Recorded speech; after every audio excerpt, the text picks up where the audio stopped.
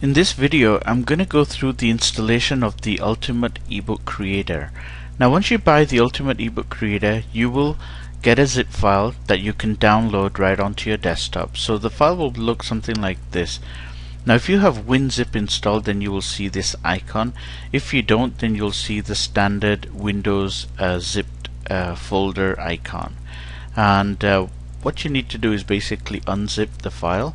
So what I'm going to do is I'm going to double click on this file. And uh, over here is the exe so I'm just going to drag it right onto my desktop. Okay now I can get rid of this and I'm gonna delete this. Um, what I would recommend is that you store this zip file somewhere um, just in case you need to reformat uh, your computer. And in that case you probably need this uh, zip file again. Uh, but for now I'm just going to place it outside my recording area. And now with the exe let's go ahead and double click the file. And uh, we'll go through the installation wizard. So I'm just going to keep all the default options. Uh, these options here basically will put an icon on the desktop the start menu and the startup folder. So I'll keep these checked and I'll click next I'll accept the license agreement click next. Now here is where you want to install or this is the default installation of the Ultimate eBook Creator. I usually just leave this alone. Um, this is fine. And I'll click next.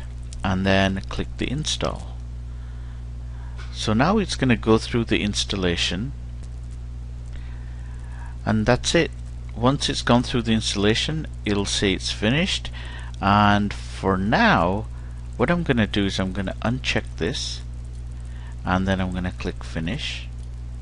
And what we'll find is that you'll find an icon like this on your desktop.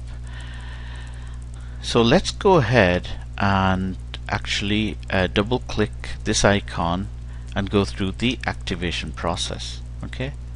So the first time you start up the Ultimate eBook Creator it's going to check your activation status. And it find and if it finds that it hasn't been activated you're going to see this activation dialog box. So what you need to do is basically enter your JVZoo or your ClickBank receipt number in here. Now if you buy it from obviously if you've bought it from JVZoo then use that number um, most likely you've probably bought it from ClickBank so you enter your ClickBank receipt here. So I'm gonna go ahead and do that. Once you do that you click activate. And there you go. The product has been activated. You click OK.